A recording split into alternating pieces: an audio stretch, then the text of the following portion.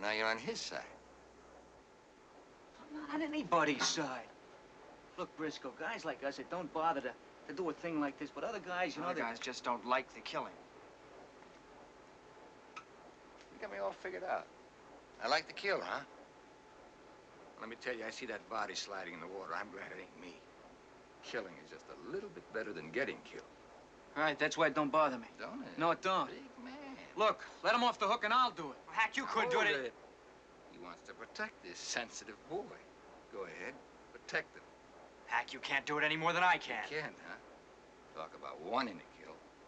Tell him about Husan sometime. Okay, big man. Go ahead. Get it over with fast.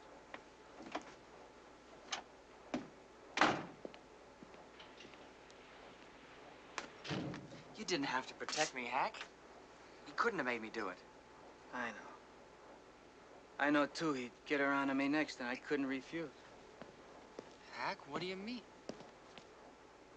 He did me a favor once, a big favor. Otherwise, I would have been court-martialed. Life in Leavenworth are even worse. So that's why you have to laugh at his jokes. Wash his socks. Yeah, I was drunk at the time, but that would have been no excuse. You know, you wouldn't believe it, but when I'm drunk, I'm the killer, not Briscoe, me. You wouldn't think it to look at me, would you, huh? But when I'm loaded, man, I go crazy. I, I can kill. Yeah, I can kill with these, and that night I... Lucky for me, Briscoe kept his mouth shut. So he did you a big favor once. But he uses it against you. He owns you, Hack. When somebody owns you, that's no favor. Look, I'm not gonna get in trouble with them over any gook.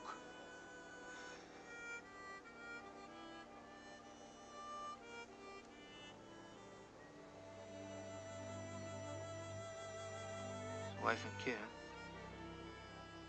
Poor Slav probably never wanted to be in this in the first place. How do you know? You ever know any man who wanted to leave his wife and kid to go fight a war?